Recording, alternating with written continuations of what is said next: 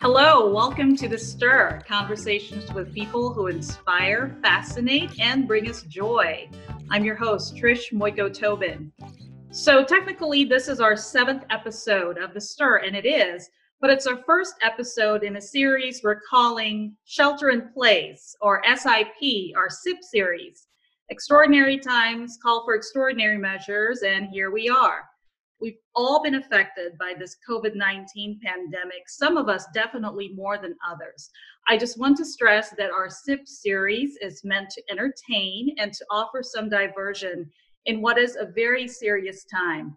With that in mind, I'd like to introduce you to my co pilot. A lot of you already know her. She's a fan favorite of The Stir. She is a TV show creator and producer. She's a columnist. She's a writer. And here she is. Friends, say hi to Debbie Baldwin. Hey, Debbie. Hey, Trish. How's it going? Uh, well, I have three college age kids all home. I was really kind of getting used to my empty nest. but, uh, so it's sort of like a swarm of locusts invaded the house, and every bite of food is eaten. It doesn't usually make it even to the cupboard. It's just from the car from the grocery store, grocery store, groceries in the car, to the path, to the door, there's half as many as there were when I did the actual shopping. So And I know you also have a doggy too. So in addition to the kids, there's a doggy to keep in mind there as well. Yes, and she seems blissfully unaware of the order and is just very happy to have lots of people to snuggle with. So there you go. That's that's the the joy in this. Find the the positive and um, yes, you're right about you know all of a sudden having to reverse oneself again when there were no people. You were getting used to that idea, and then full house once again. So you and I have been going back and forth about how to entertain oneself in a in a situation like this, and and lucky for both of us, we're really into binge watching TV shows, movies, sometimes even binge reading some books. You know, we discussed this earlier um, when you appeared in our show a couple weeks ago, um, just talking about anything that keeps our mind entertained and in fantasy land. And, you know, we like things that also keep us thinking and just fun stuff that, that we always like to talk about. And so tell me, what have you been consumed by? Are we now we're in week two of this um, shelter in place? We are in, I guess, officially week two, although I had a child who was doing a study abroad program in Italy. So we have been on lockdown for uh, going on a month now in our house. Um, luckily, no, you know, no signs of any sort of even a sniffle, but we've had lots of times to explore um, alternative forms right. of entertainment for you know as opposed to going out and meeting friends going to restaurants and stuff like that so uh, the obvious choice is binge watching tv yes. finding a show that really you know draws you in and, and even before the situation came up you and i have already talked about some of our favorites you know the, and there's so many streaming services now from even five years ago ten years ago that it's it's really hard to keep track of what's on, what's where, what's hot now, and what may be coming up, uh, you know, down the road. But I wanted to bring attention to it seems like everyone now has Netflix or has had to get Netflix just because you have to find ways to, you know, you can't go to the movies right now. Um, you can't do a lot of the stuff that we would normally do. So let's talk about some shows. Let's talk about some series on Netflix first that we're completely into. What are I, some of your favorites? I, well, I finished Netflix. Watched every single show. You finished on, Netflix on Amazon Prime now, and soon to be on to Apple. Um, oh boy! But no, um, obviously there's a lot trending on Netflix. I'm just looking quickly at what I wrote down and what I've watched um, the big show that everyone's talking about right now is Tiger King. All with, right, tell me a little bit about that because I'm I'm still on the fence about mm, is this something that would really interest me? I you know I'm very conservative with my time. Even with when we're confined like this, you find that you're still um, having to budget your time accordingly, or it'll go crazy. Yeah. Um, so tell me a little bit about Tiger King.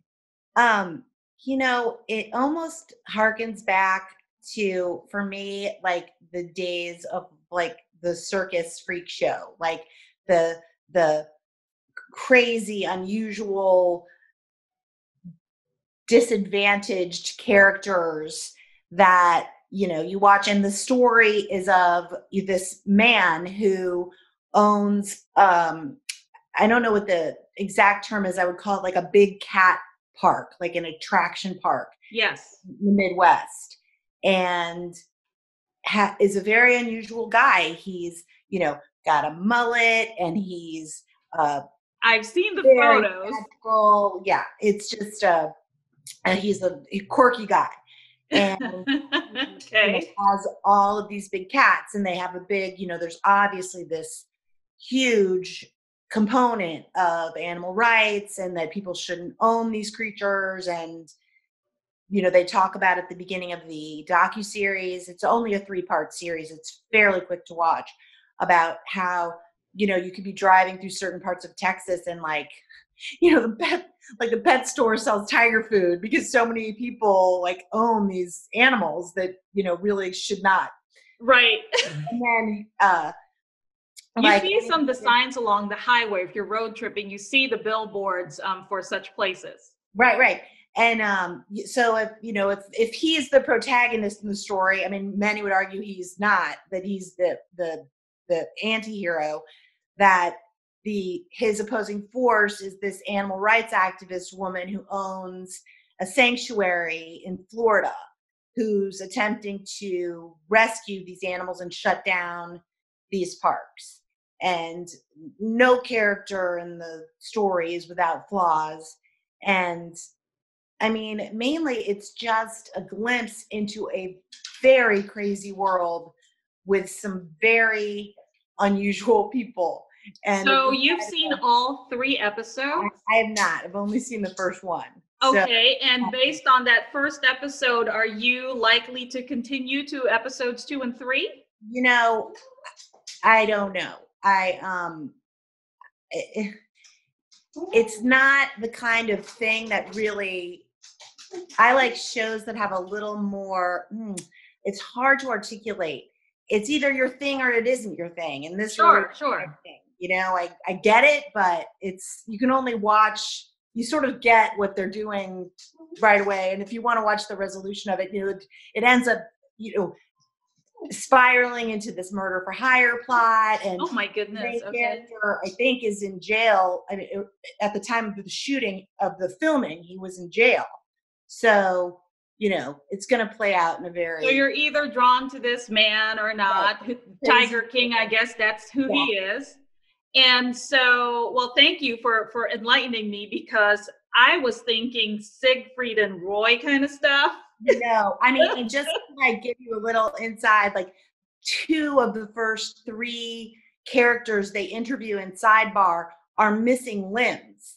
Like they have a uh, one woman has like a is missing an arm and another character has uh, prosthetic legs and you're like oh my lord like are the, i i mean i haven't gotten far enough to know the cause of the amputation but i'm completely getting you now. So it is an acquired taste.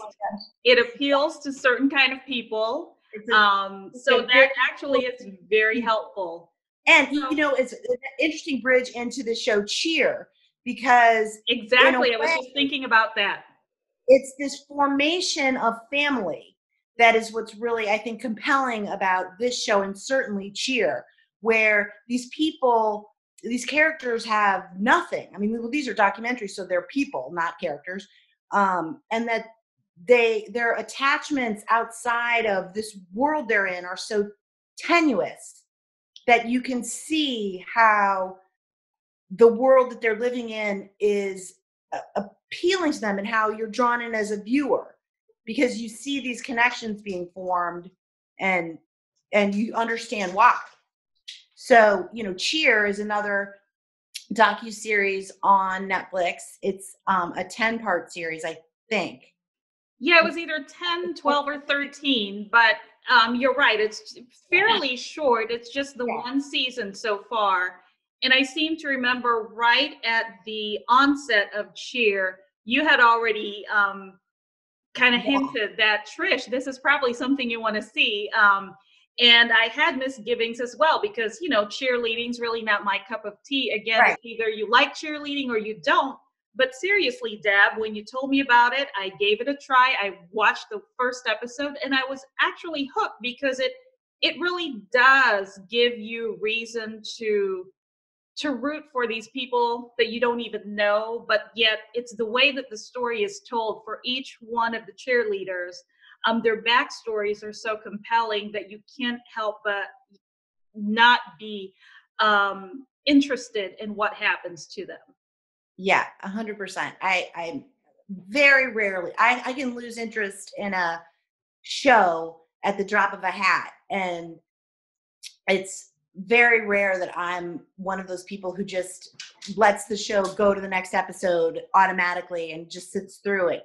But with Cheer, I I mean, I watched the entire thing in 2 days. It's just the woman who's the coach. I mean, what a compelling story. She's got yes. an, an MBA from University of Texas. She's a very accomplished, intelligent woman. I think and she has a background in finance. I mean, that's what finance. she went to school for.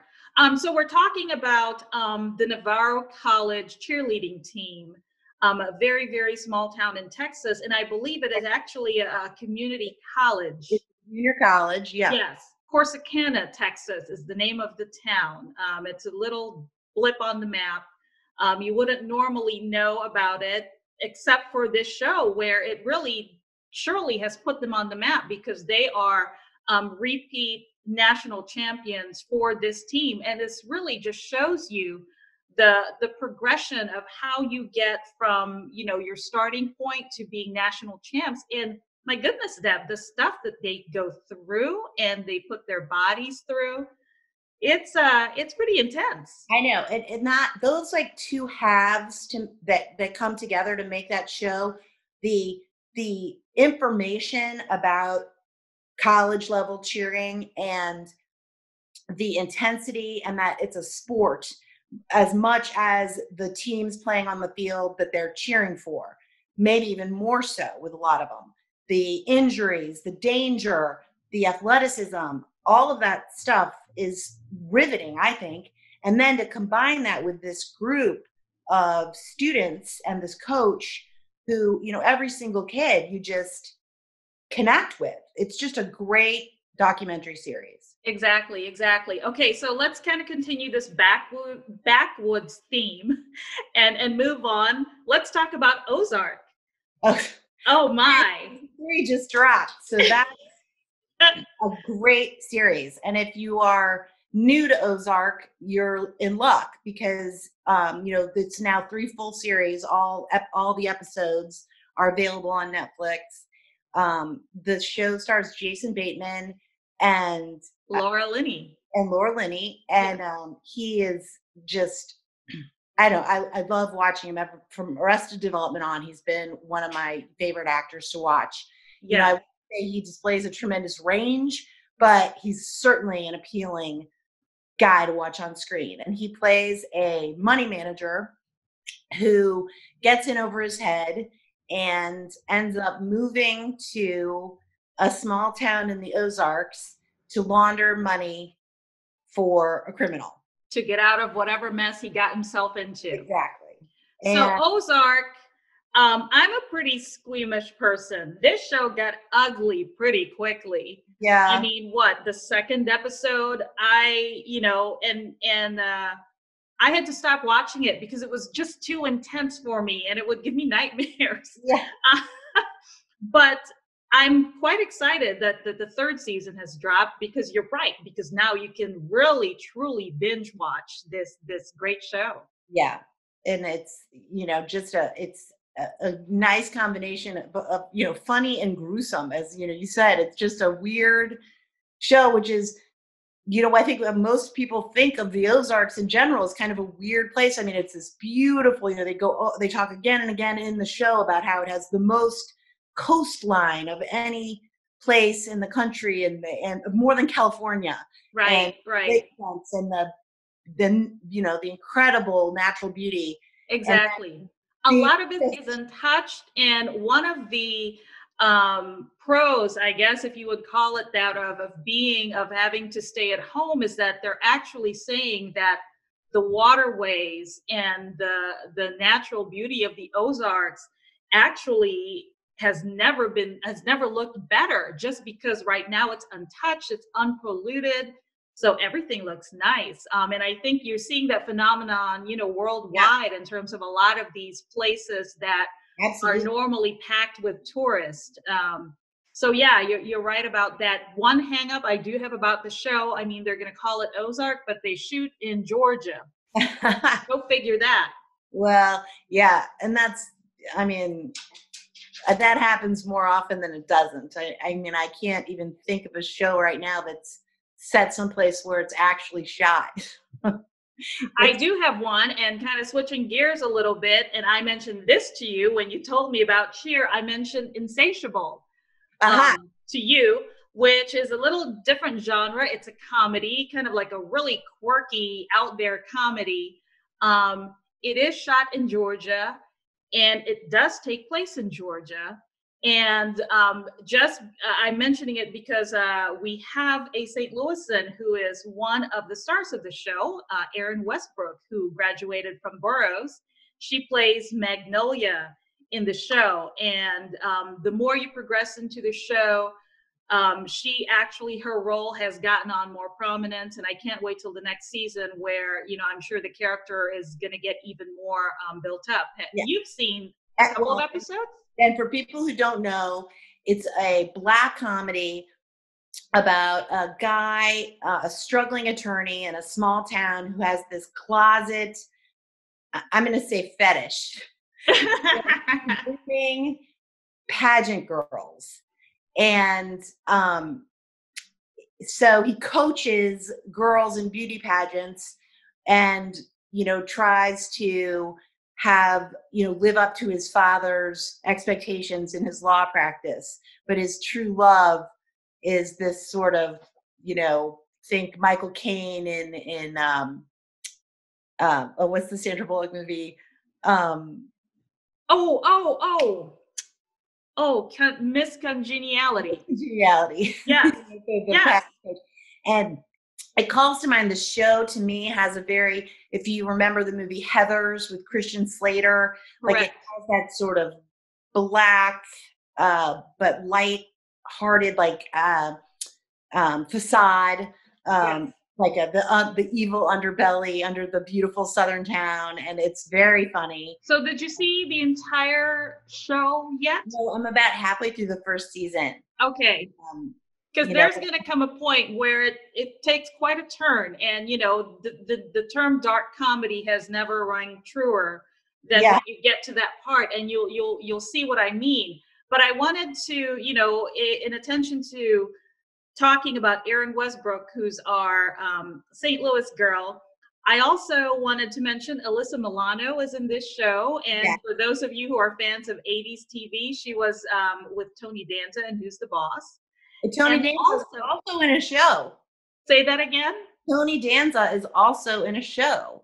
Oh. Um, it is a Netflix show called, I think it's called The Good Cop, where he plays um, a a father of a young, ambitious police detective, and the the as the father, he was fired from the force for corruption and the son is trying to be this ultra by the book police officer and um, I've only watched the pilot of that, but uh, you know, just for the who's the boss people of the crowd. Got it. So is he? Um, is this supposed to be a comedy or a drama? Um, I would say it's a light drama so far. Okay. Um, yeah. I mean, I I I followed Tony Danza because of Who's the Boss. I can't say I'm a huge fan, but you know, he's one of those guys. He just seems really nice, and you him. want the best for him. And Alyssa, back to Insatiable, I, I will say I think Melissa, Alyssa, Alyssa Milano has never looked better. I mean, oh my God, yes, yes, really, you're right about that. Eased into that. You know, a lot of act female actors in particular have difficulty with that transition from you know child to ingenue to now parent. Yes, and you know, she's the parent of teenage kids in this in this uh, show, and I, I think she's terrific. Oh, and you can see and you can tell that she's having a lot of fun with that role. It's such a uh, see such an interesting role to play. And um, also wanted to ask you what you thought about Dallas Roberts, who is um, one of the leading men. He is our pageant guy. Okay. For some reason, I don't know if if you are thinking the same way, but he reminds me so much of John Ritter. His totally. face. Absolutely. Oh my goodness. Yeah. And I had to look up whether this was his son, and it's not. You know, it's Jason Ritter, and right. he's a completely different guy. But his facial expressions, his his demeanor, the way he acts, this reminds me of Jack Tripper from Three's Company. Well, and I was going to say the fact that the role is so sexually ambiguous. You know, he does cast these very longing glances at the the other Bob on a kid, you know, so there's a lot of like kind of subtle ambiguity going on there. Brings to mind Jack Tripper and Three's Company totally. Yeah. Exactly, exactly. But I just always think that every time I watch him. So I wanted to move on to so we've talked about a comedy here. Let's talk about something that a lot of people are anticipating the next season, which is The Crown. And The Crown is I don't know when the next season of The Crown drops, but um, you know, but we know that it's definitely going to be the last season. They've said that much, right? And you know, no spoiler alerts. We, but um, you know, that's a fantastic show. Just everything about it is very it, it, it's you know up there with the Game of Thrones and you know the uh, is the Crown HBO no, The Crown is Netflix. Is it Netflix? Okay. It's just um, you know, such a well done, well acted, compelling story with that sort of salacious glimpse behind the curtain without while staying true to the material, I think. Yes. I completely agree because along with binge watching The Crown, I also have been reading, you know, the the book which the material is based on, and you get a little bit more in the book. And um, yeah, it's just really fascinating to see what happens behind the scenes, especially when it's somebody as uh, prominent as the royal family. And then you see that they are people too. They go through the same issues, although on a grander scale, of course, and wearing their tiaras.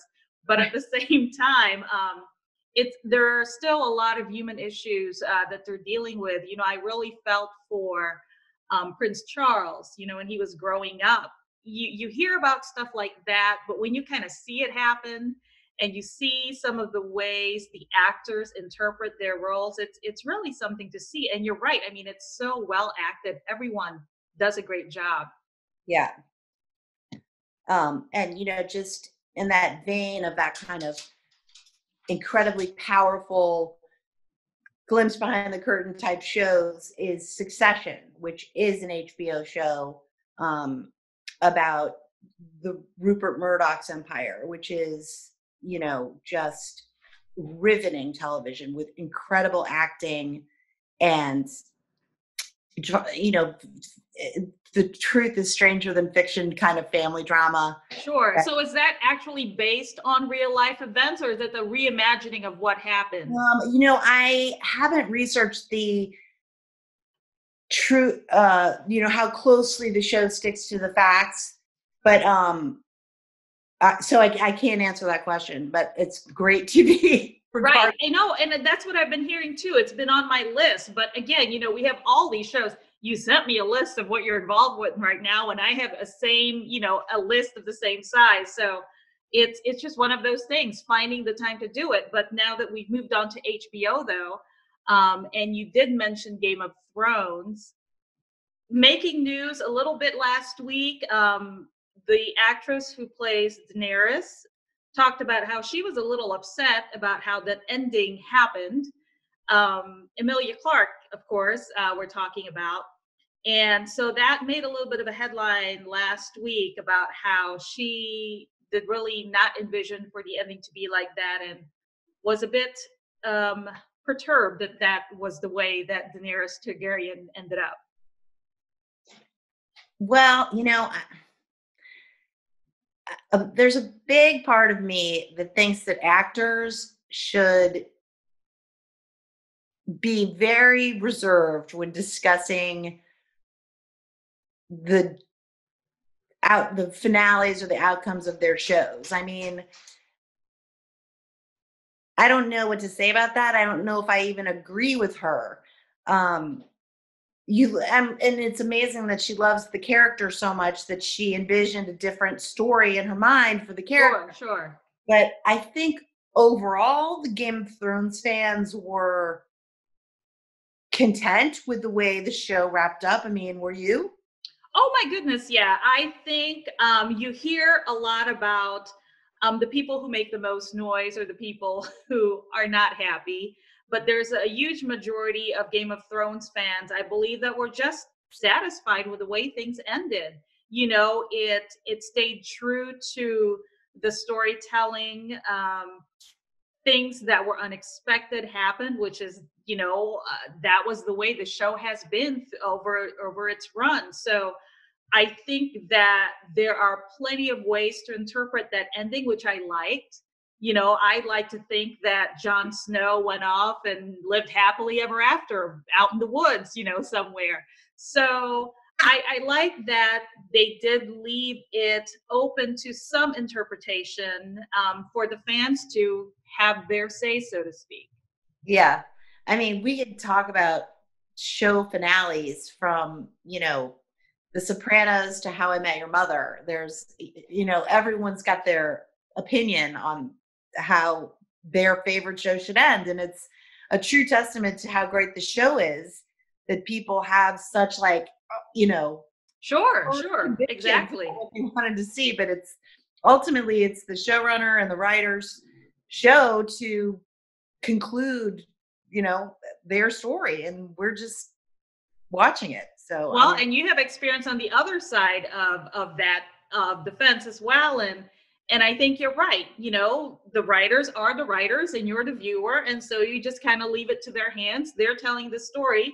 They have a vision for that story, and you know, hate it or love it, it's it's the story. It's the way they want that story to be, and the way uh, the way they want that story to be resolved. Yeah, exactly. So, but you know, this is if you've never watched Game of Thrones, one of those shows like uh, Gray, uh, Grey's Anatomy or House, one of the these shows, Criminal Minds, Game of Thrones, that have multiple, multiple seasons, and you think, oh, I could never. You know, I think Grey's Anatomy has like 19 seasons or something. I can't believe it's been that long. This is your chance. Okay, so are you of the same opinion as I have where you know when ER ER was on your list too. That's really old school. So when old ER was still around, it had gotten to the point where in its later um, seasons, to me, it got kind of ridiculous because every single scenario has made it to the ER. You know, some really unbelievable stuff, and it's like, really, really, really. So there have been many times, in my opinion, where that show had jumped the shark based on whatever was going on in the ER, whatever sick case they had. Um, Grey's Anatomy began to feel like that to me, middle of its run. Um, just the ridiculousness, um, the number of the doctors who were who were offed, you know, um, the number of the doctors who. Yeah. I have to tell you, I was laughing so hard. I tuned in. My daughter was was binge watching Grey's Anatomy, and she was on a later season. And I kind of peeked over her shoulder to see what was happening, and all I heard was Meredith Grey say, "This one said, can you do these tests?" And Meredith Grey said, "I own this hospital. I can do whatever I want." And I just Wait a minute. So somewhere along the line, she she owns the hospital now. Apparently, and it literally sounded like something out of like an old soap opera that we used to watch. You know, dun dun dun. uh, yeah. Oh, okay. So Meredith owns. Um, is it the Seattle Grace? Right? Is the name yeah. of the hospital? I don't know. I have to say, I had a little uh, Grey's Anatomy moment way back in 2008, I believe I don't know if you even remember, there was a huge um, industry wide writer strike. And so all the shows went on hiatus. And it just so happened that my husband and I um, were off on a trip to um, California wine country. We were in Napa and Sonoma. And one of our stays in Sonoma, we were at a, a restaurant called The Girl and the Fig and who comes along but Dr. O'Malley with his partner. And they were there because of the writer's strike. Nothing was going on. So it was just one of those things where, um, you know, it's like paging Dr. O'Malley. Here he is coming right across my table. It was it was kind of cool. Is and, there a doctor in the house? and that was you know what that was the really really sad part of it was i could not remember his real name and all i was doing dr o'malley dr o'malley i mean it was pretty ridiculous but he was so gracious about it he even took a picture with me it was TR Knight TR Knight yes and, uh, yeah and uh, it was about a i think it was about a homophobic slur on set that ended up ending isaiah washington's run on the show Correct. and then Knight left shortly thereafter. Yes, anyway, and that was kind of the beginning the, the beginning of the bleeding for that show because shortly after TR Knight left, uh, you had Katherine Heigl leaving too. And so it was like, you know, and then you started infusing it with new characters, new um, Dr. Hotties and whatever their names were, McSteamy, whatever. McSteamy, um, McHottie, I know. Yes. running out of, of, of, names for um, for attractive male doctors. Nothing wrong with the level of attractiveness doctors at Seattle Grace. Very attractive crew all around. True. Again, for me though, you know, it kept my attention for the time for a little bit of time and then all the doctors started hooking up with each other and I'm like, "Okay, come on, guys." But same thing with ER, right? Only I thought ER did it on a a more classy scale. I don't know how you would describe that. I don't know if the story uh, line was a little bit tighter than Grey's Anatomy. I mean, maybe that's not the, the the right way to put it. Yeah, I mean, they're both great medical shows, and ER was such a pivotal show, you know, during its time. It was that show that everyone kind of raced home to watch. And you know, I think Grey's Anatomy, to some extent, at least in its first 10 years, was certainly that way too. It's maybe uh, worn out its welcome a little. I, you know, it's kind of like it's, maybe it's time to wrap it up with Grey's Anatomy. Um, I don't know. I think isn't this their last season, or somebody had announced that it was going to be their last season? Yeah. Um, and I like the fact that we are talking about um, medically based TV programs because, of course, we want to kind of wrap up our first episode of our Shelter in Place um, series by saying that you know we really really are grateful and are appreciative of our local medical community who we know are are on the front lines of this pandemic and they have been working 24 7 to to help our residents or citizens, and and they have been doing um, such a good job in trying to keep up with this ever-changing, ever-evolving story. So, Deb, we've been talking about on-screen diversions um, for this entire run, but also it's important to note that there are other ways to use this time we have at home to, besides sitting in front of your computer and or looking at your phone, what are some of the ways that you're finding that um, is is uh, you know fitting the bill for you?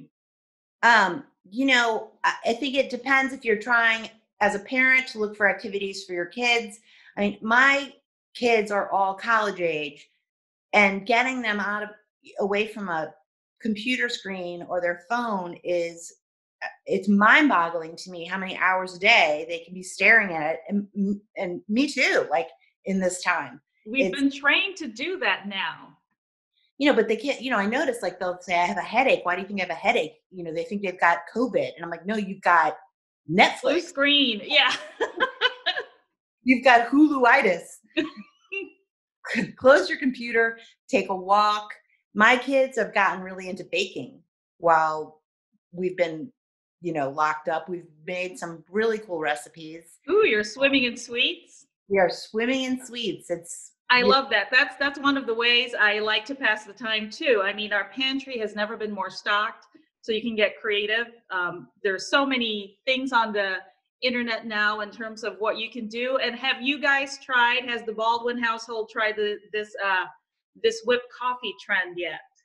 No, tell do tell. well, it's it has its origins in South Korea. It's called Dalgona coffee, and it's a whipped coffee. And I believe it started out as a TikTok um, thing, but you can see it anywhere now, all over the internet. But it's very simple. It's equal parts instant coffee, hot water, and sugar. So let's say you're making one serving, so it's two tablespoons of instant coffee, two tablespoons of sugar, two tablespoons of hot water and then you just whip it. But the trick is you don't whip it by hand. You really have to use a hand mixer because if you're whipping it by hand, it'll take you like 20 minutes and a very sore hand. So a hand mixer will really do it, you know, like whip it like you were doing um, whipping cream into to to peat. Yes. Okay. And that's it. That's the base of this coffee. And then you you um, have a glass of milk, maybe an eight ounce glass of milk, and you just kind of put this topping on top of that. You stir and you have yourself a very nice, fluffy, cloudy coffee concoction. It's it's quite a treat. That's next on my list. I'm gonna. that sounds it's not that much of a recipe, but I, will send you what I've got. The, the, the, on the plus side, it's very hard to screw up. It sounds like.